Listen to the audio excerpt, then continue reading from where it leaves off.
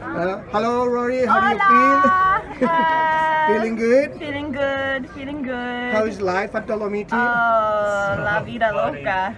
Pretty fun. I'm having a lot of fun here. Seeing the world upside down.